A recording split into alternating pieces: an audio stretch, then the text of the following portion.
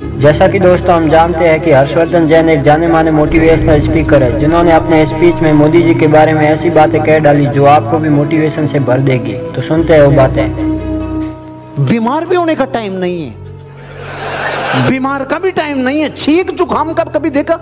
Muffler छी छा फू फू कभी देखी मोदी जी के आपने ऐसे करते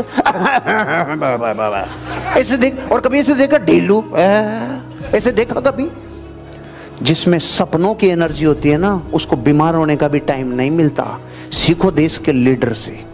अपनी ज़िंदगी में मैदानी परीक्षण में सबसे ऊपर का लीडर उतर के आता है ना, तब जनता में जब किसी लीडर की बात होती है तो मुझे वो कहावत याद आती है कि आप किसी जंग में कुत्तों की टोली का लीडर एक शेर को बना दो।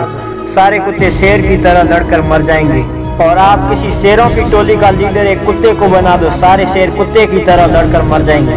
लीडर सेना का नेतृत्व करता है। जो भी लीडर अपनी सेना से पहले खुद को जंग में झोंकता है, वो होता है असली लीडर। तो दोस्तों, उम्मीद करता हूँ कि आपको यह वीडियो पसंद आया होगा और इससे भी बेहतर वीडियो देखने के लिए मेरे चैनल को सब्सक्राइब करके नोटिफिकेशन ऑन कर दीजिए, ताकि मेरे वीडियो की हर नोटिफिकेशन आप तक पहुँचती रहे।